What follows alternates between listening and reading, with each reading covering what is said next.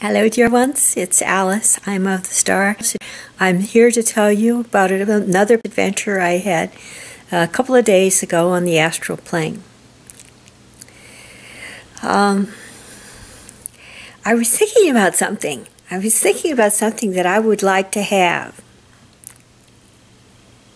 And uh, and in my subconscious mind, it welled up this this this wish I said to myself with a lot of emphasis, you know, I said, I would give anything to, and I started to say the last two words that would represent the, the wish that I had.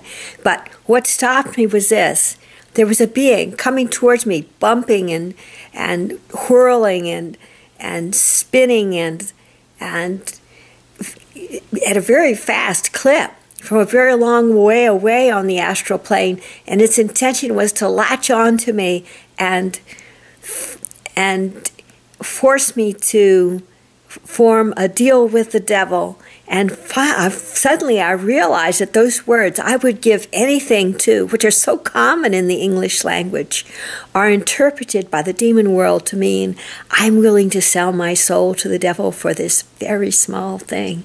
So I would like to warn you all never, ever use those words. I would give anything for. All right? Always specify what it is that you would give. There's a very bad set of astral dudes out there that are willing to take advantage of this oversight.